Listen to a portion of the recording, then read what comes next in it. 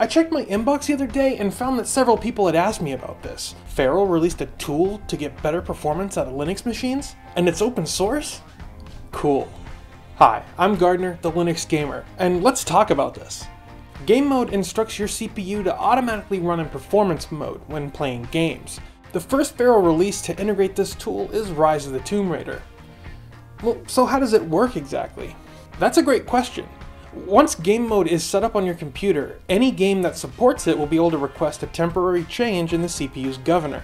To put it simply, you turn off the power saving feature of your GPU and allow it to run with all guns blazing. You also get the ability to configure any game to utilize game mode. You can edit the Steam launch command or run the game from the terminal with a preload environment variable. Some games will ship with game mode support built in, like the aforementioned Tomb Raider. And I say support because you're going to have to install game mode separately. So what do you need to do to get this set up anyway? Right now, it's pretty simple. Just install the build dependencies, clone the repo, and run bootstrap.sh. In my opinion, it's pretty straightforward. It's already been added to the AUR and Solus repos, so if you use those distros, go ahead and install it.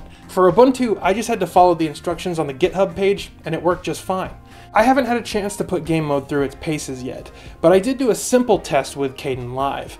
I ran the software without game mode and created a simple test project. I added some old footage of mine to the timeline and then used the position and zoom effect, then played it back with the effects being applied to the clip in real time.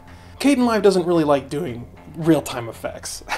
Then I saved the project, quit the program, and relaunched it using the LD preload command, listed on the project's GitHub page. I played back the exact clip, and the footage with game mode enabled ended up applying real-time transformation to the 1080p footage faster than without game mode enabled.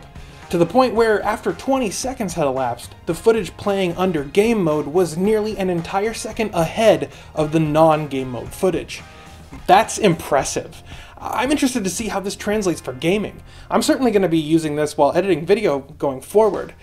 But I want to know what you think. Will you be using this for enhancing your gaming performance? Leave me a comment and let me know or hit me up on Twitter at the Linux Gamer. If you believe in the work that I do, you can pledge your support with a monthly contribution over on Patreon and Liberapay. You can also hit that like button and share this video with your friends, and don't forget to subscribe to see more from me, the Linux Gamer. Thanks for watching.